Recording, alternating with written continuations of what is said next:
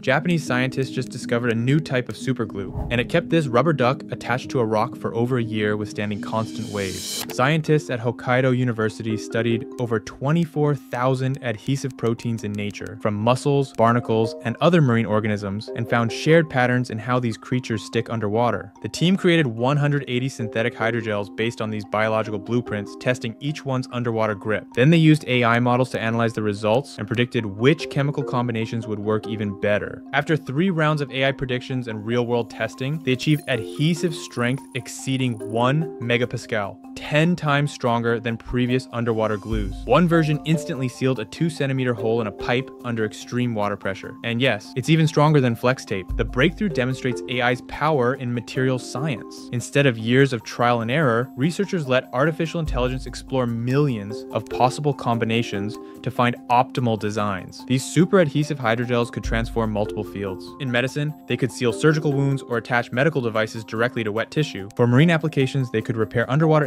infrastructure or attach equipment in deep sea exploration. The hydrogels use simple, commercially available components, making them potentially scalable for widespread adoption. If you want to stay in the loop with the insane pace of AI, follow for more.